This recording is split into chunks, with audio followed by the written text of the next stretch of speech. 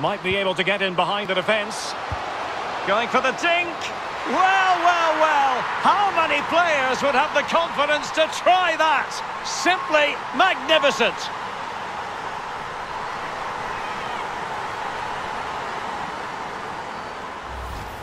Well, Derek, the chip was always on. Keeper caught in no man's land, but it's still a difficult skill and it's a lovely finish.